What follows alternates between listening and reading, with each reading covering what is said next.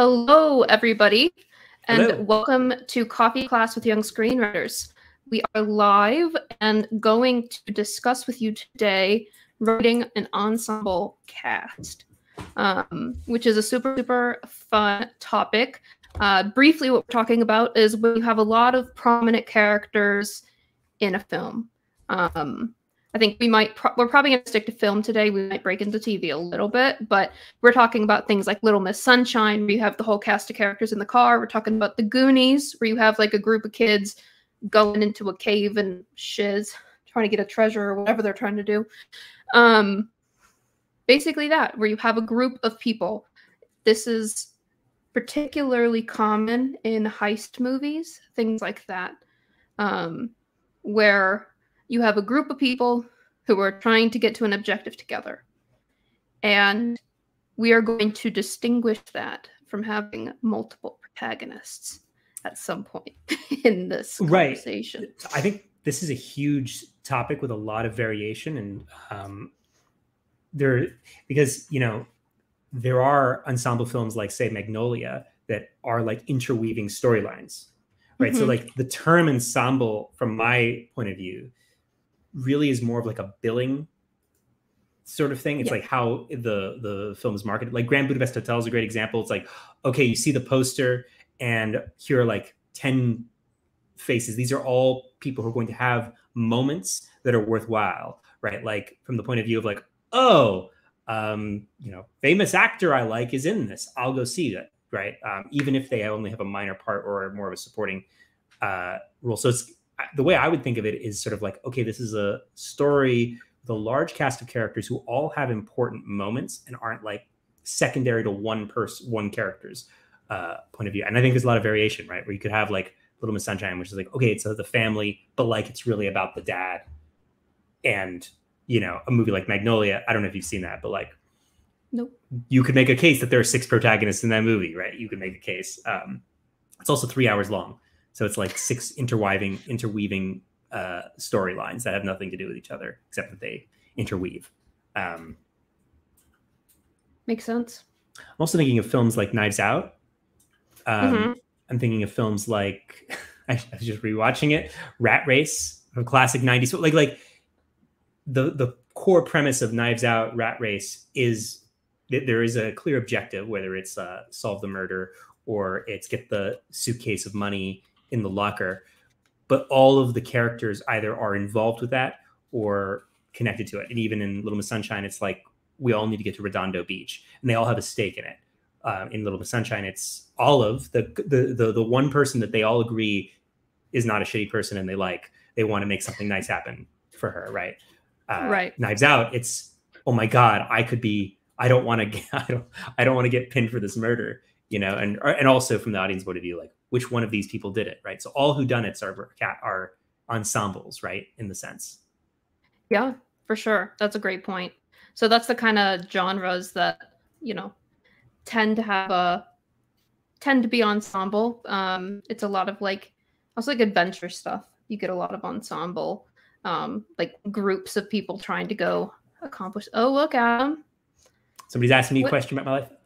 I uh I played bagpipes was my first instrument, Oh god. and You have a piano behind you. I think that's why yeah, yeah, I play. I, I I hack away at the piano, but I am actually relative intermediate level uh, guitar player, um, intermediate level bagpipe player, rudimentary piano player. Uh, I'm not very good, but I like I play in the sense of like I play to sort of understand music theory, if that makes sense, because the piano makes more logical sense. But like if you ask me, Adam, impress me, I'll go play Bach on the on the guitar, and I'll impress you for maybe two pieces, and then you'll see I run out of material.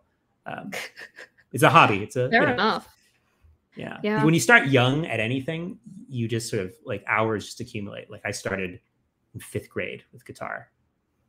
In second grade, no, no, uh, sorry, fourth grade with bagpipes. I was up to the point where I actually couldn't play because of, little like, I was too fourth small. I was too small to actually play the Highland pipes, so it would make me pass out because of the air. Yeah, so that was a very detailed an- uh, answer to, but that has nothing to do with uh, ensemble comedies or No. stories. Let's talk about Rat Race a lot because I just watched it. I'm just kidding. I am unfamiliar. And for the You've never seen Rat Race? It's No. it's it's surprisingly good. So it's got all star cast. You've got um, Seth Green, you've got John Cleese, Rowan Atkinson, you have Whoopi Goldberg, Cuba Gooding, like uh, the guy from, Newman from Seinfeld. You've got uh, like it's like all these people from the '90s. You're like, oh yeah. Oh, and also the band Smash Mouth is in the movie. I love Smash end. Mouth. But wow. they're in the movie as a plot point at a comedy, and they play All Star, of course, and that's how they end the song. It's so '90s it like hurts your face. But um, the thing that, that I like about that as an ensemble film, just to tie it back, is that every single one of those stars has a moment that's important, or like ha- is like has good. Like you would not be disappointed if you went to see that movie back or and you liked one of those people, right? It's not like, oh, they were in there for like Zendaya Sorry. in uh in a uh, Dune, right? yeah. So real quick, I need to for some reason to share my screen, I'm gonna need to close Chrome. So I will be right back. And no so you close, can talk about rot race, Chrome. get it all out. No, no, I already did. I, I just extended it. Oops. You got me out. I hit remove. Well, okay, there we go. There's Alexie wait, this is a pertinent quote. I associate acoustic guitars with youth, Christian powder uh, pastors, and those guys in college. That's a very sad association. See, like my uh, my dad is a deeply talented classical guitar player, and so like when my first exposure to it was like, oh, Segovia, Bach, like uh, you know, progressive rock bands that would do like you know the nylon string, not strumming energy. So like I was only exposed to that way later when I realized the negative connotation. But like, oh, guitar is not like this virtuoso athletic uh you know classical music thing. Uh but it's actually you know got the wonderwall uh damage. Sorry the only one per let's get back to talking about movies. So like i think it's kind of weird to think about things in terms of an ensemble. Like if i think a better maybe word or term would be to think about it in terms of you know this is every role would be exciting to an actor of that type, right? Like because I think that's important to think about anyway when you're writing material.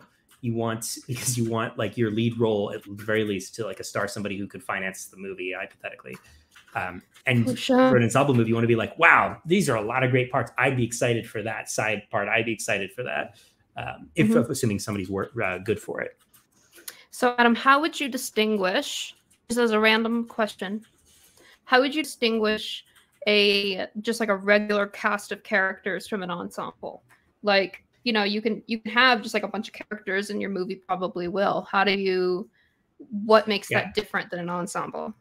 I actually I, I have a good answer for that, I think. Ooh. Um, so my hypothesis is the core situation, like whether it's the inciting incident, the, the, the spark that like starts the conflict in the movie, the core dramatic situation involves the group rather than involving in, in, is specific to one person's uh, experience, right? Like, you know, like the classic change arc move uh, Hollywood movie starts with, you know, okay, we meet a character in their normal world and their flaw, and then an inciting incident disrupts that normal world and they're set off on an adventure. The distinction I think between like a movie called an ensemble film would be that same phenomena happens, but when we enter the normal world, we meet the family, we meet the group, we meet the cast, of, the the family that's going to be complicit, we meet the everyone and the inciting incident disrupts not just the protagonist but the status quo for the group.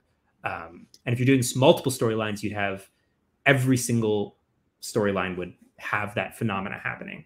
Um, so that's the mm-hmm. distinction i'd make that it would have to be the situation would have to affect the group. So i like taking notes as we go and i'm trying to make right. it look prettier than just the google doc so doing it in a slide. Um, but these were some of the topics that i thought about. Um, that I thought we should hit on today, Adam. Yeah. Adam, would you say that Reservoir Dogs is considered an ensemble? Yes.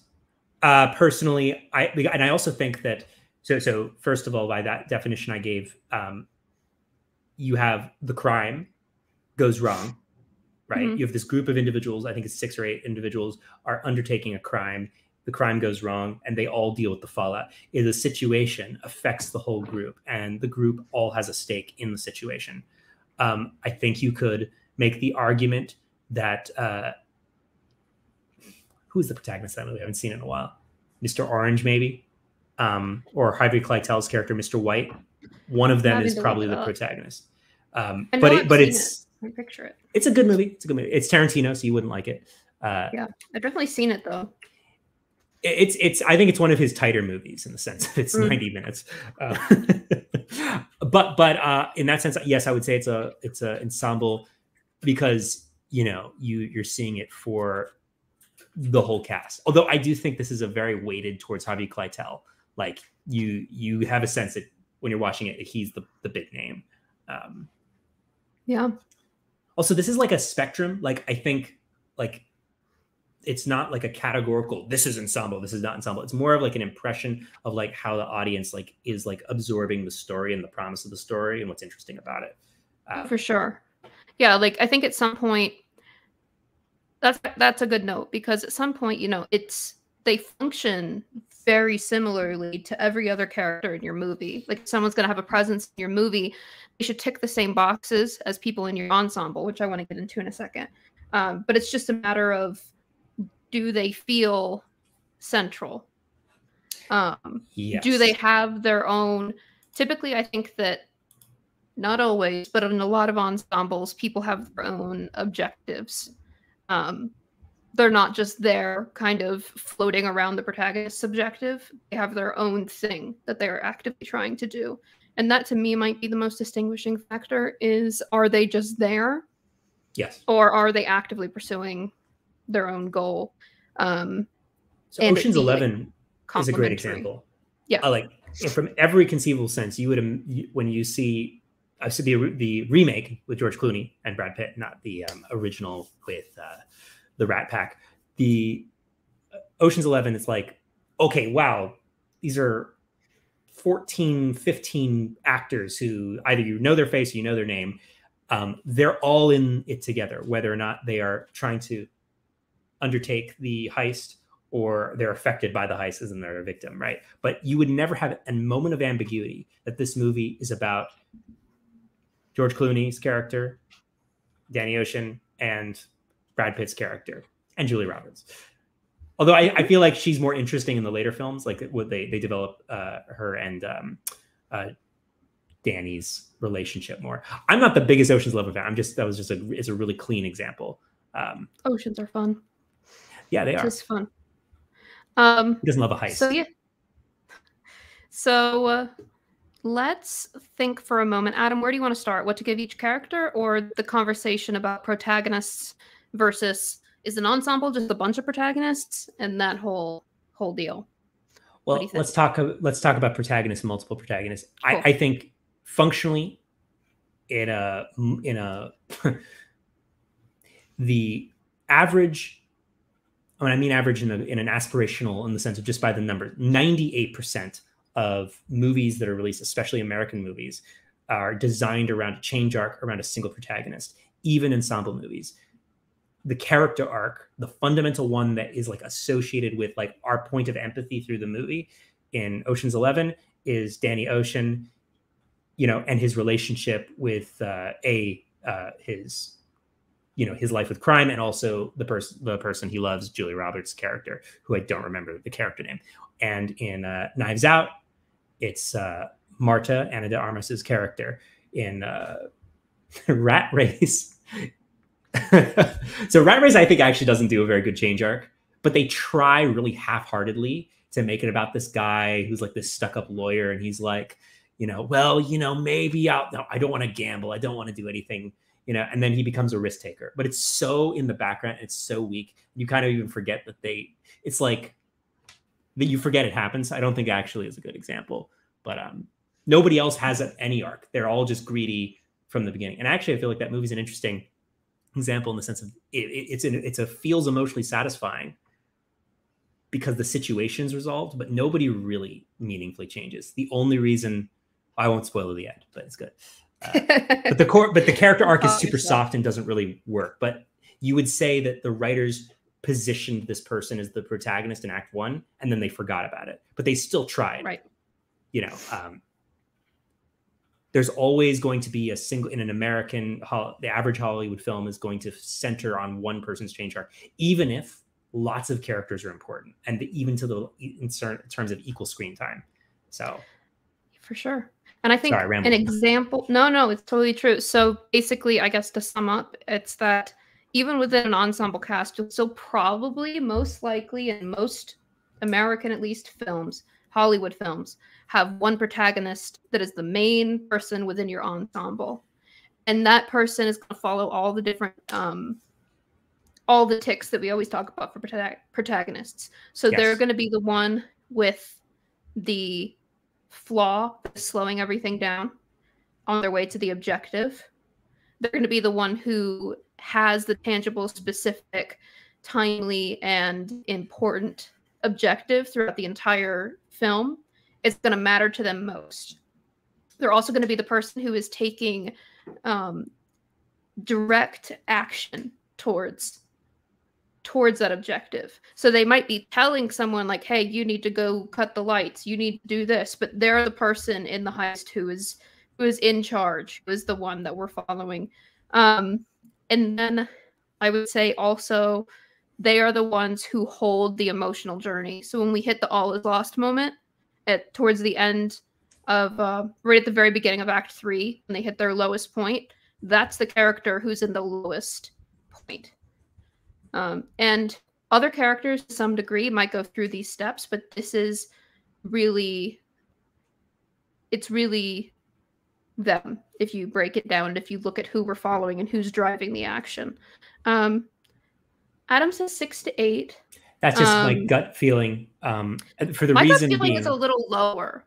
Is my gut feeling, but it depends on the. If you really count, if you really count like the number of faces on the poster of Little Miss Sunshine, it's you know I don't know. I mean, it's about it's more it's it's more than 4 mm-hmm. Like I would I also was... just call anything less than six is just like a typical movie.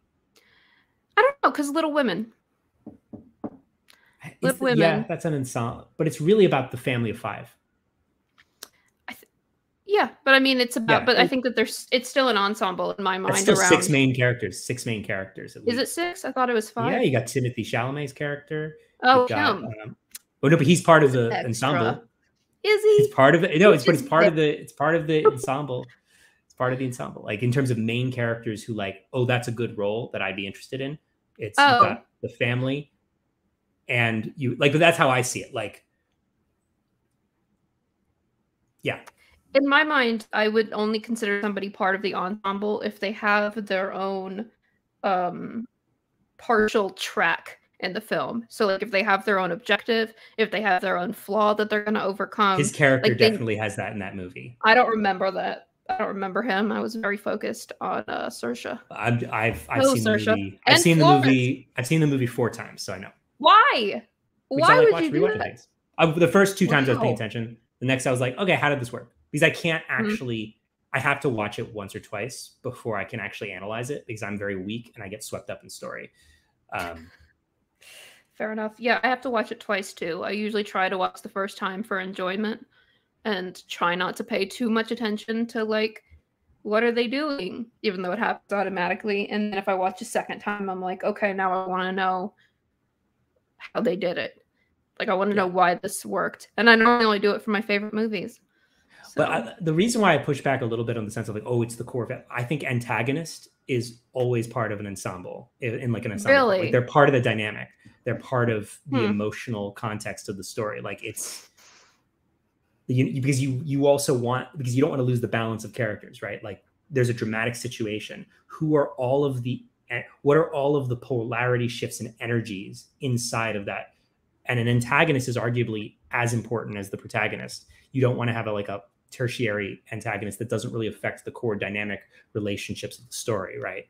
Um, yeah. So that's that's the only the reason I push back. So like those characters, you'd be like, well, they're not part of the family, but they're part of the main story and the plot. You'd think of them in terms of they affect the dynamic.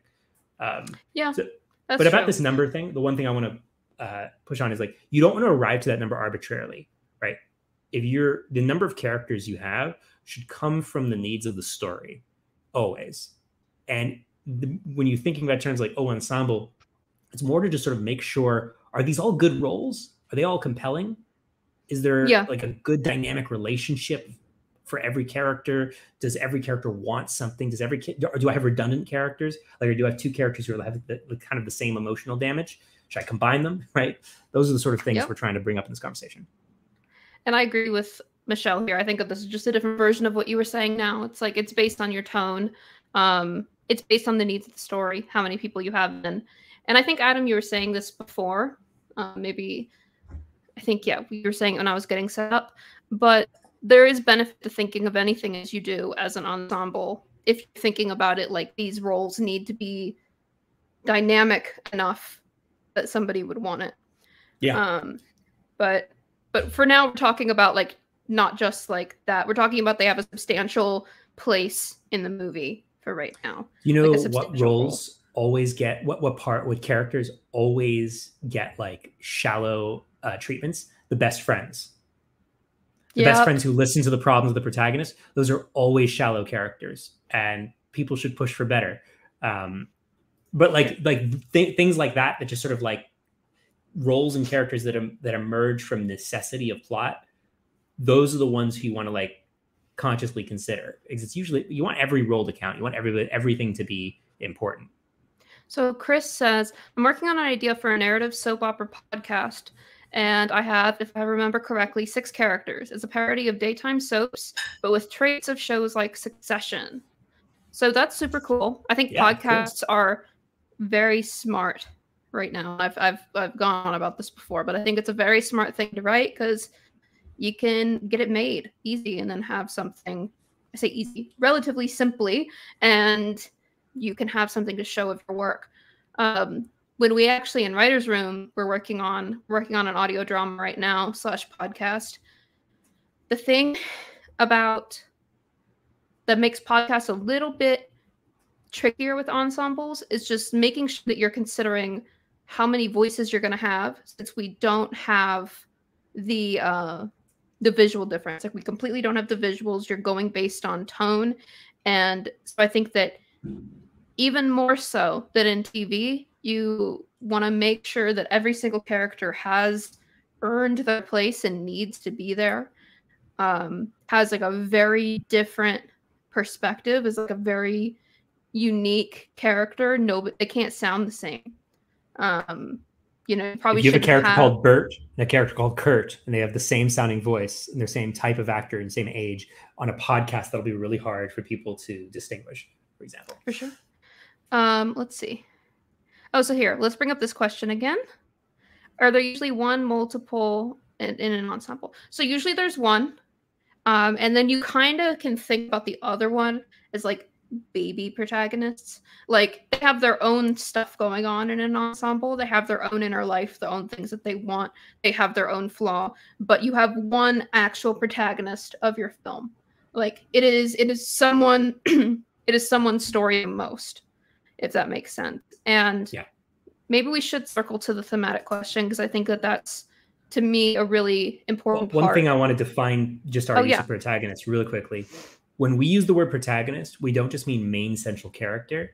We mean the character who has agency in the story in the certain in the sense of like they are they are the catalyst of like driving the plot forward.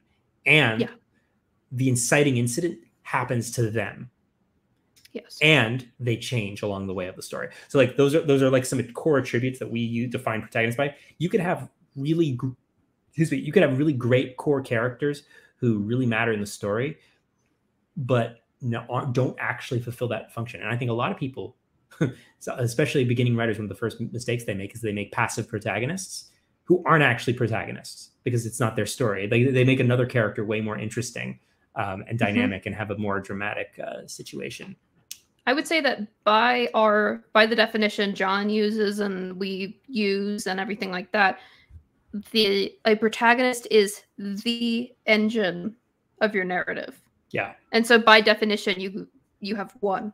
They are the engine of the narrative. Like who is truly moving this? Who is the one who's truly who this happened to? Who's the one whose stakes are the highest? Um perspective do we have?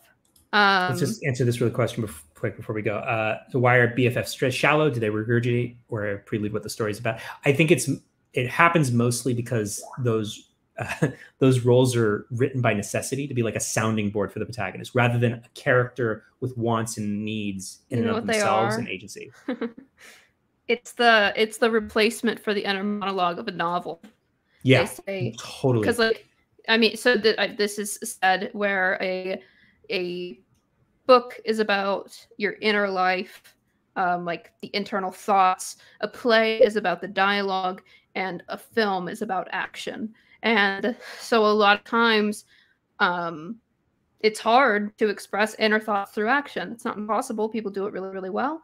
But um, you know it's it's tricky to have inner thoughts expressed through action. And so a lot of times you see people using a secondary character as a crutch, where literally they have no other life other than just for the protagonist to share their inner life with them so that the audience can absorb it. They're just there as a proxy for the audience to get the information they need.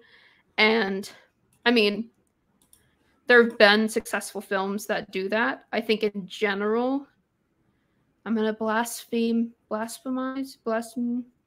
One of my commit, favorite bas- films. commit blasphemy.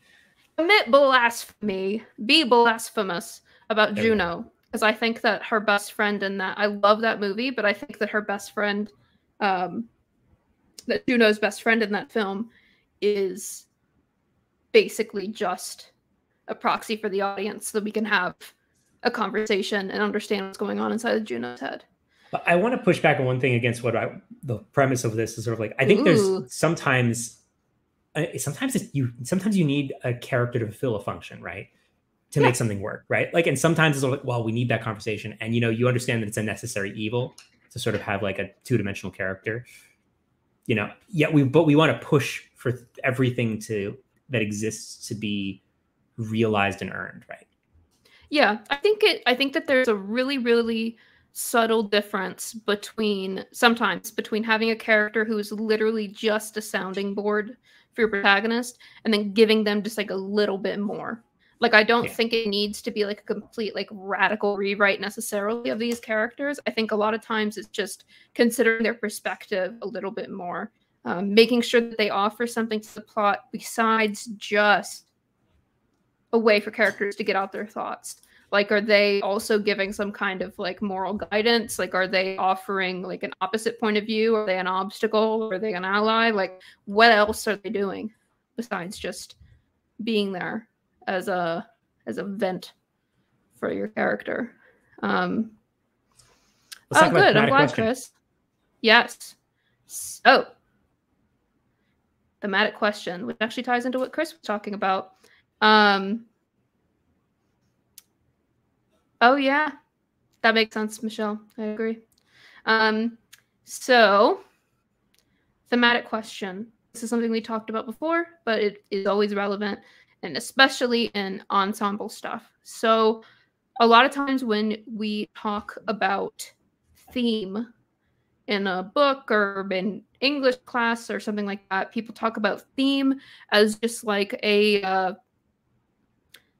seize the day theme is family theme or like these like big like open-ended things that are the the theme the that in our experience and john's experience it tends to be hard to effectively use a theme when you're thinking about it like that when you're thinking about like family or the theme is brothers or the theme is you know money's not everything all these different things about about the theme where it's just stated like that um, is hard to write about. Um, it's hard to build characters that are interesting about that. It's it's just very vague and open. So what we encourage people to do instead is to think about theme as a thematic question. So what is a question that is at the heart of your story? Um, you know, Adam, do you want to do you want to expand a little bit? Here's an example. Like maybe maybe a question, a possible dramatic question would be um, this is just off the top of my head. What do you do when your dreams don't come true? And what what how do you deal with failure? Right? Like that's a Mm. question. That's a real good question one. that gets to drama, right? And I think the best thematic questions best the best thematic questions create drama.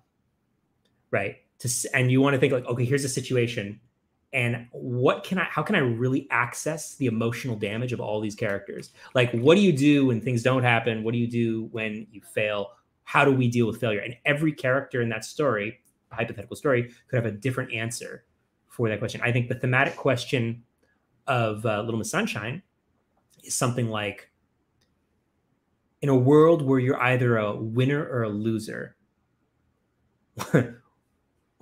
who are you right yeah right? So like, and the whole question is like the, the whole character arc of the main dad is like, oh, we're winners. We're all going to be winners. Every member of my family is going to be a winner, and they all have to confront that they've all failed in some capacity. And it's that mo- whole story is about them accepting failure and it's saying, actually, it's okay. I'm a loser and I love you, right? Like that's a that's a really rich, dramatic cluster yeah. of uh, ideas. Sorry, I'm rambling. No, it's good. I think yeah, I would phrase I think I would phrase Little Miss Sunshine something like what is winning? Like what does it mean to win? Like what does it mean to be a winner? Yeah, it's simpler. Like it's simpler. Yeah, something like that where everybody in that whole or how do you respond to failure even i think might actually be closer to what it is because every single person in the bus is dealing with yeah, how do you respond to failure but like yeah. you you want it to be something that like this is a this is a gray area, right? Like this is not science. Like you want the question to inspire you and make mm-hmm. you think about the characters in a deeper way. But the same story, right? Like if it's one singular question, you're in the same page with all the characters, right? You won't have a um, a, a secondary plot line that has nothing really to do with um, or that's like feels kind of out of place. You want your stories, especially for feature screenplays, to feel of a piece, and this is a great way to do that. Mm-hmm. For sure. And so that that is where we get into ensemble casts. Um, you know that you want your protagonist to have an answer to the thematic question at the beginning of the movie, and as they overcome their flaw and dis- and you know fulfill their inner need, they have a new answer to that question. So at the beginning of how do you handle failure, one could be literally never ever ever give up, persist no matter what. You cannot accept failure. And then by the end of the movie, this character could learn, you know, sometimes you do fail, and that's okay. It like it's the people you meet along the way that matter. Something like that. Like some sort of statement of belief where they change. So uh, the protagonist definitely has a relationship to this them- thematic question. Um, and the antagonist does. The antagonist is going to have an answer to this question that is different than the protagonist's the mentor is going to guide the protagonist towards their correct answer to this thematic question. And in an ensemble, the strongest ensembles tend to have characters who each have a different answer to this thematic question. And so, in that way, they are tied to the core of the movie and they're building the core of the movie rather than just kind of like flying around in space and being, you know, extra. If you want to justify why is this character in the movie, which, you know, you have to justify everything in your movie. Having them have an answer to your thematic question and be an important part of your protagonist figuring out their own answer is uh is a good way to do that. Definitely. I think kind of what you were saying about like, you know, making sure that every element is is uh, thoughtful and intentional. The enemy of story of good storytelling is arbitrary choices. Right? Like and at the end but when you're starting off a story you, you by necessity you're going to be making arbitrary choices. Oh what if it takes place in a school right? What if it takes what if uh what if the mom has cancer? You know like you're you're asking questions sort of yeah. to find the thing. And this is where that uh, really clumsy sculpting metaphor takes place. But like this thematic question is a way to find unity and consistency right? And it's it's just one way into it. Like this is a very outside in kind of way to sort of find out like well what's the what's the emotional truth of these characters and what are they going to learn? Like a lot of people uh, discovery writers famously will be like well i'm going to write a whole draft just to find out those things. This is just one way to just ask yourself like because I, I highly advise front loading and outlining for screenwriting because the yeah. the the form is so weighted to action and not dialogue or inner monologue. Um, but this is a way to sort of find the core character arc. And at the end of the day, this is like the other side of the coin. The thematic question is the other side of the coin of the flaw in or need of the protagonist right? Mm-hmm. Because the thematic question has to fit the character arc. You're not going to have a thematic question has nothing like if you have a story about what does it mean to be a loser, what do you do? What does it mean to be a loser or to be a winner, uh, something like that? You wouldn't have the character arc be. He goes from selfless to self self. He goes from selfish to selfless. Like oh, he learns to care about you know share money, right? Like there's there I mm-hmm. there's so many beginning screenwriters who like actually pick that very specific one. Oh, he's a selfish bastard in the beginning, but then he becomes generous at the end. So okay, but like, is that the story? You know, and thematic question is a way of connecting. Okay, what's like the situation? What is kind of the thematic idea behind the situation? How do I tie that to the emotional damage of the protagonist as they grow and change and become who they are at the end of the story? Mm-hmm. For sure. And I want to kind of use this to trans- transition into the last question that I have on there. Can they be consolidated? Which is always a question to ask yourself. So the personal objectives and the thematic question. No, no, no. Can the characters? Do you have too many characters, oh, yes, yes, yes. and can you mash some together? And how do you decide who is strong enough on their own to justify yeah. their existence in the movie? And how do you decide when you have two characters that really just need to be one? Yeah, um, it's common. And that is a tough one. Um, because I mean, you could take it too far and be like the most practical. There's probably a way that I could make this movie like nearly a one man show. Like, you know, like you have to think about what you want and really balance like what's necessary to tell the ver- best version of your story with getting lost in the weeds of just like enjoying having all these people that you've made around. Um, how would you tackle deciding if they earn their spot or if they should be cut or consolidated? Well, you have to imagine, well, okay, if I remove this character, what would happen to the story? And if mm-hmm. the answer is, oh, I just have to change this bit of dialogue, they're not important.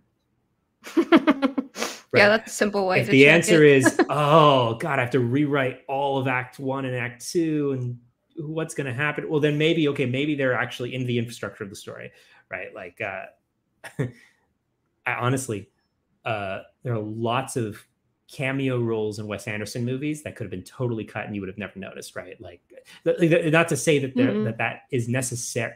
You can have great films that have maybe more of a maximalist. We're going to have all these characters sort of thing. But like the average impulse of a Hollywood producer is for every character I cut, we're going to have a cheaper movie. Um, like think you, you, yeah. you know, people are going to be thinking from that point of view. And, you know, you can, if you, if you can combine the two best friends and the one best friend, sometimes that's, that's a good thing to do. But like, it really has to come from if you're getting rid of character, does it affect the core dramatic situation? Does it make it less interesting? Does it make it more compelling? You know, like it's sort of making sure that you're not being arbitrary because you can always get rid of arbitrary characters, but you can't always get rid of characters who are like integrated into the story. Mm-hmm. Um, if that makes sense. I think what's more common, what you're going to have happen more often rather than cutting a character fully, is you're going to run into the thing where you could say, I could consolidate these two. Um, yeah. And that doesn't mean that like you've made characters that are identical. They could be very, very different. You kind of need to pick a side to go. What that means is that their story function is basically the same. Not that they as a character are the same. Typically, when characters can be consolidated, they aren't doing something for the story that is unique. Um, so are they both mentoring your protagonist in yes. the same direction? Like are they are they you know, are they both bullying the protagonist in the same way? Like in what is their relationship to the protagonist and is it the same? That would be a question i would ask um, to decide if they should be consolidated or not. And i also think it ties into the core this idea that we always talk about of complexity versus depth in yeah. a story right? Like um, for every character you add for every plot line you add for every idea you add you're adding complexity to the story and complexity is sometimes really engaging. It's like, oh, the interplay of ideas, a situation that develops, um, development, plot expansion. Like sometimes complexity is really what engages. But for every element of complexity in terms of the choice of char- how many characters you bring in, you are sacrificing depth. The simpler the mm-hmm. story, the more depth you can achieve with the characters. And I'd, I'd say most of the time, depth is more important. I think people overestimate the value of complexity in their own work. And most people probably better served to simply tell good stories with great characters. That being said, there are some awesome movies that have very shallow characters or relatively shallow characters, but like the the ideas at play, the theme, like it, it works. I think Rat Race is actually a great example. You don't yeah. really you, like uh just I'm going to do minor spoilers. I won't say the end, but like you know absolutely nothing about Rowan Atkinson's character other than he's vaguely European, maybe Spaniard, and he's a narcoleptic. He has no friends or family. That's all you know really about him. He's just kind of silly. Uh, uh, you know, um, Whoopi Goldberg, her daughter, they've reconnected after so long, and this is the first thing that they are doing together. Is this? That's all you really know. But from the beginning to the end, that's that's it they don't make any choices really that are substantial about their character. Even the protagonist, he falls in love with this pilot, helicopter pilot woman who's like, you know, kind of intense and makes him take risks. That's it. I just said the whole character. There's nothing deeper, right? But at the end of the day, okay, we have six plot lines, all of these characters, and it's about the yeah. idea. It's not like you're watching this movie not to like really understand. Like, wow, they learned so much while looking for this, uh, you know, three million dollars cash or whatever it was. It was about kind of the farcical like fun of watching all of this chaos of like people are going after they're on a race from Las Vegas to California. Who gets there first, right? Like the the interplay of ideas. There is a theme about like oh they give away the money at the end, but it's bullshit. Um, mm-hmm. but like I, I think talk- that that's a very rare type of movie. I want to talk briefly about Inception because we haven't talked about Inception in uh, Inception is not time. an ensemble, in my opinion. Not Ooh, really. It's a very standard central. I mean, okay, you could say that there is an ensemble, like it's he has a team, but we don't. Yeah. But we have a lot of depth with his character. We know a lot about uh, Cobb. He has huge yeah, change that's arc. What, yeah. We're in his head the whole time.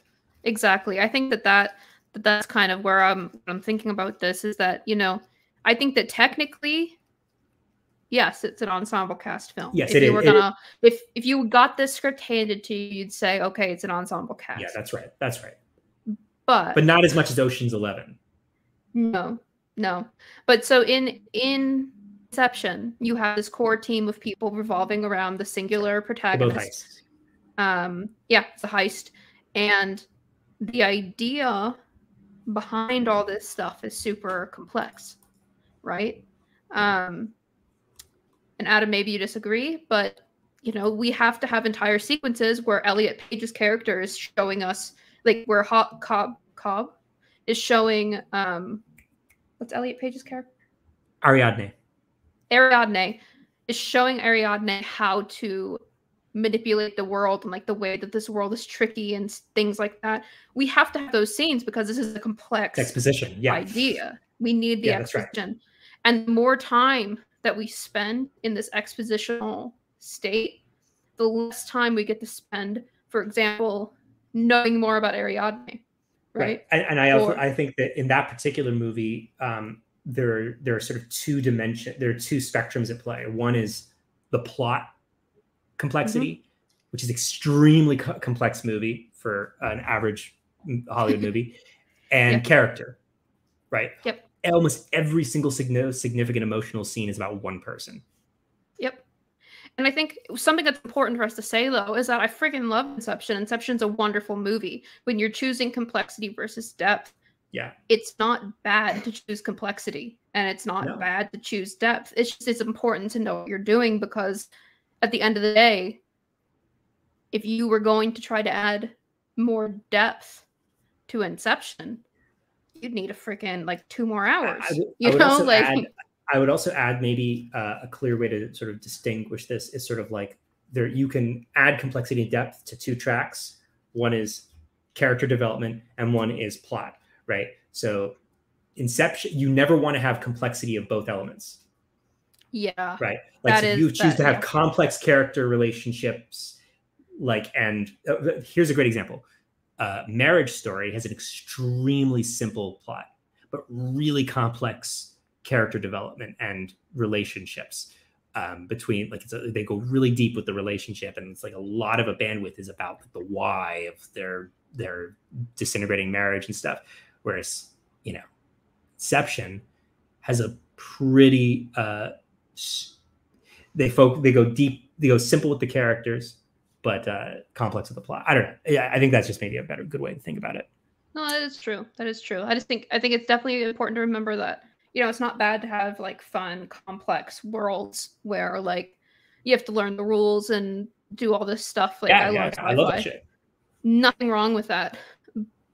But it you it is important to register the balance of what does this mean. And for Inception, what it meant is, okay, I can't go deep really with anybody but Cobb. Yes. I need to go fully into Cobb because I do not have time to think about. I don't have time to Little Women this plot. You know, like we're not gonna go see what they're all doing in their personal lives. This is gonna be about a really, really complicated world and Cobb going deep into that character. Yeah. Um, and I, I will just say one more time, if you're writing your first screenplay ever, you should choose. You 100% should choose a simple plot with deep characters. Like that's a good. That please go learn to write a screenplay doing that you will get you will thank yourself in the future um, simple plots can be great they really work and it does not it, it almost always is better in terms of like the average viewer experience too like it's it's very challenging to do a complex plot uh, for your first screenplay i'm trying to think if i did that i like made up a very complicated world but the plot well, you do science fiction a lot so yeah science so. fiction by necessity is yeah. actually I think all good science fiction stories, the vast majority of science fiction stories, have complicated world building, plot, information, exposition. Like, you know, it's kind of like the idea of like in a in a courtroom contemporary drama, you can have a shot of a courtroom and everyone will know what, where they are, and the average viewer, and he will know where they are and what is happening. If you go to a science fiction uh, courtroom with special, you know, mind reading devices, you have to have the characters explaining, hey, that's what this box is, and this is what we're doing. And this is like you've you've you've just got to balloon out uh, you know, sort of the information flow. Because yeah. human beings, you know, we we we understand the world we live in. We yeah, don't need like to be when, told what a courtroom is. In Dune, when she brought out that freaky toaster and told Timothée to put yeah. his hand in it. Yeah. Are you human? Carl's laughing at me.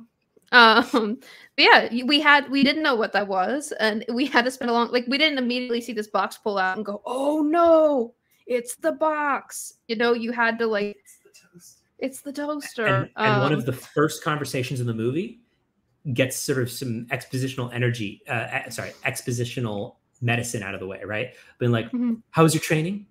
Oh, not now, mother. Being like, "Come on, uh. use the voice." She puts down, and then he's like, then it doesn't work. You know, but, like the, the whole scene is to say, hey, we're in the future, and this guy has secret powers, and then you sort of understand everything sort of builds from there, piece by piece. But like, and that's actually I think a really good example of it. But science fiction needs that stuff. Whereas if it was a mm-hmm. contemporary story and it was just a mother and a son having a, a dinner, we could focus more on other things. We don't need to explain what the powers are. We don't need to explain that there's uh, what spice is. We don't need to explain political drama necessarily. Mm-hmm. So, Adam, I feel like you have opinions on this because why not? We're almost at the yeah, end. So I, I do. Well. Still haven't seen the new Dune, but the book and David Lynch are great. Here's my opinion, um, Eleanor. uh, when the second Dune movie comes out, watch the first one first and then go see the second one. So for a double feature, because the first one is like just first half of the book and it cuts really awkwardly you sh- they're both the the first one is really good really mm-hmm. good but don't watch it if you can help it until the new one comes out so you can be fresh. I will say the book is uh, i'm a huge fan of the book. Uh huge david lynch fan. Not a big fan of the david lynch movie personally but yeah. I think sting in a someone... speedo. Sting as, is in a, a speedo. Really? Well, yeah wait you didn't know about this? No. So Sting the pop star from the police. Every breath you take, Mister Mister Every Breath You Take is uh, he's the Harkonnen main villain. Uh, he's the nephew of uh, the Big Baron, and he has a knife fight with Kyle MacLachlan in a speedo at some. No, not he has a scene where he's in a speedo, but he has a knife fight with him later. at The end of the film. It's like he's like, why is what? Sting in this movie? Why is Sting in this movie? That. Like I keep having this thought. Like I, first of all, I really like Sting. I'm I am a I love that shit. Oh, Adam, real quick, restate your opinion. What was my opinion? Uh, oh, Eleanor's screen froze. Real quick. Oh yeah, it's amazing. The Dune movie is amazing. You have to see it, but wait until the second one comes out so you can watch them both back to back. That's the way to go. As someone who had never read Dune, seen Dune, none of that, and went with Adam to see Dune, um, I I really really enjoyed it. I thought that it was really well done. I thought that it was like beautiful to look at. I think it was well casted, really well done. I think the narrative is actually kind of like so far the narrative has kind of been like underwhelming like the character development and stuff like that. Yeah. Like um but I was willing to go along for the ride because of how interesting everything else was. Maybe that's because I like sci-fi. I'm curious what other people who don't care about Dune going in feel if they're not like into films and sci-fi like I am. But I mean, Timothée Chalamet acted. That's a hard character. Of, yeah, that character. Here's, like no here's an opinion about the books. Paul line. is a boring as rock character in the books. Yeah. and Timothée played that character about as interesting as you possibly could. Like I was actually really impressed with his performance because the book is Paul's uh, kind of, you know, it, let me put it this way, because the book's written in a uh, is in a is in a omniscient uh, narrator. We have all of his thoughts all the time, and because he's psychic, he's telling us the future. So Paul knows everything that's going to happen, and he's constantly like telegraphing it, and we're getting his head to like it undercuts a lot of the drama. And I think the movie did a great job of like making it more dramatically interesting and like giving, but there isn't a lot there, Alexie. There, that's yeah. the reason. There's not a lot. Yeah, no, for sure. And I think that like he did phenomenal with it to the point where I was like, oh yeah, you're right. He didn't. He probably didn't have anything to work with on the page, really. Um, yeah, Paul's yeah. flat. Paul's a flat character, but the situation is so good, right? Like it is very good. Uh, yeah, it's basically uh, the same plot of Game of Thrones. Is it? I need to think I mean, about the, the, the first the first book, right? Mm. Yeah, who's gonna who's gonna? Oh, okay, yeah. similar, similar. There's similarities. There's similarities. Um, actually, it's kind of uh, because this came out in 1965. You could say it's the other way around, but really, I think George R. R. Martin was influenced by the War of the Roses more than uh, Dune. But uh, very War of the Roses. Yeah, yeah. the later um, Dune books are wild. Like they, Frank Herbert, you have to admire the you have to admire the guy.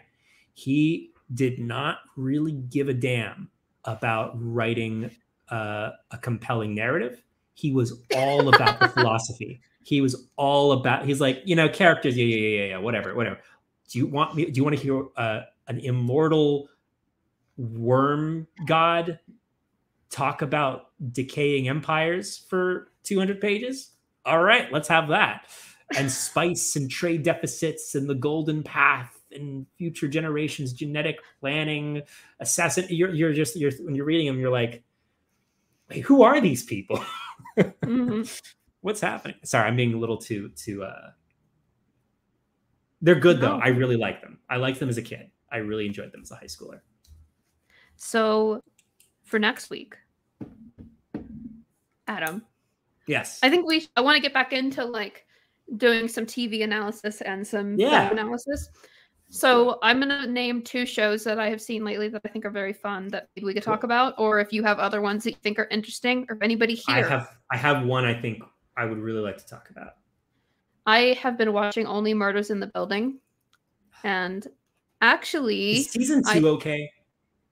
I've not seen season two. I'm only on okay. season one, I guess. I didn't even know. I think Chris, not Chris Turner, Chris Hadley. Maybe you would want to check this out if you're doing a sort of. Anyway, for some reason, gut feeling, might want to check it out. Um, and then also, our flag means death. I loved our flags mean death. I I yeah. I would talk about that totally. Yeah. Um, I here's my problem with only murders in the building. I didn't believe any of the characters. No, it feels very. um I didn't believe any of them were real. Want to know what's? I mean, I watched the first season. This is how you know how I feel about Wes Anderson. It felt very Wes Anderson to me. Oh, that's such an insult to Wes Anderson. He's such a good Oh, writer. it is. I think he's a wonderful. First of all, I think Wes Anderson is deeply underrated as a screenwriter. Like, I think he's deeply underrated. Um, I think he's overrated as a director, under for like for his visual style, and I think he's underrated as a um, character writer. Interesting. That's my opinion. I'd have to think about that more. What was the other thing you wanted to do? Uh, I love Severance. People here will know that. Yeah, I, I'm not. I'm not the biggest Wes Anderson fan. Tarantino. You enjoyed Um, uh, Grand Budapest. I enjoyed it. I know. Oh, I'm just. I, I'm not. I- like also think Wes Anderson. I think is a very different director than Tarantino. Like fundamentally, as a human being, like I'm just naming two that are that are like my two where I'm kind of like, eh. But uh, really, people. I- disagree with me He's hard. so funny. He's so funny. Maybe comedies You go a long way for me. Oh yeah, Yeah. I, I remember. I mean, listen. I also say like it's one of the filmmakers that made me fall in love with movies. That'll like. You know, well, I when I watched Rushmore for the first time, I like didn't know you could make movies like that. Like it was like, wow, you could make movies that feel like weird passion, weird cerebral passion projects for just for yourself. it felt like somebody was Rushmore writing. good. Rushmore's a good movie. I I think Life Aquatic by Steve Zissou and I think Moonrise Kingdom are kind of some weaker movies by his, and he's made was the weaker o- movies. That was the one I saw first out of everything was Moonrise Kingdom. I think I've told you the movie theater broke halfway through. And yeah, uh, it was a bad experience. So definitely um, Grand Budapest is an amazing movie. I, I really believe in that. yeah, that was that was a good one. That was a good one. So I think you dislike Tarantino more is what I'm really trying to say. Like, like the, Oh, yes. I know you really dislike Tarantino. Yes. But I feel like Wes Anderson should be higher on that list personally. Um, Maybe. Maybe I'm just fine. stubborn. I- you Maybe are extremely you- stubborn. Extremely stubborn. So I would happy happy to talk about our flag means death, and I'd be happy to talk about Severance. I think Severance is one of the best pi- one of the best pilots I've seen in a long time. Adam Scott is in it. It's it's really good. Patricia Okay. Arquette. So the basic concept, Lexi, science fiction, modern. oh, They found a way to separate your work self from your home self. So your work self has no memories beyond when you check in for work. It's sort of like, oh, it's a new personality comes on. And they, and when you go back home for work, it's like you the moment you check out and check in, your consciousness fades and the other you comes on. And it's so good. It's so good. okay. This actually seems like something I'd really, really like. No, it's really So- good. It's really the yeah. pilot, especially, is um, an excellent pilot. I would love to talk about this, um, but also love- love, our flag means death. I loved our And Death. Michelle, yes. Better Call Saul and Abbott Elementary, both fantastic. Let's talk about all four of those shows sometime soon. I I think Abbott. Oh and yeah, Elementary I thought you meant it once. I was like, that's gonna be a little. no, no. tricky. Better Better Call Saul. I think. I think there's a lot to talk about. I, I I just watched an episode of it at the dentist yesterday, so it's in my so this new dentist I met has like a TV screen on the ceiling. So like while they're working on you, you can like I, I was impressed. I was like, wow, damn.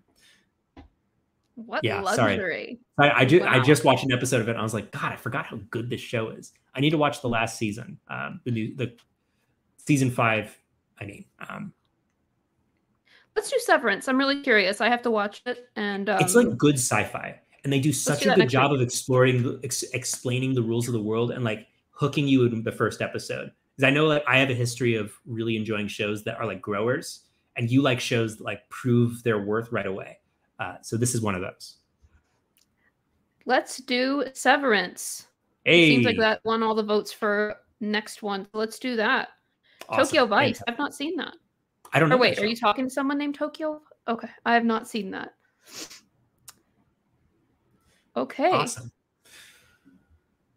Yeah, we should definitely uh, do Better Call Saul too. We'll do everything. We'll do all of it. I'm gonna write all these down, and we will get to them all. But for next week, we're gonna do the pilot of Severance. yeah It's gonna be fun. awesome So thank you everybody for coming. Um, Adam, is there any last messages we need to say? that's it no we're good All right.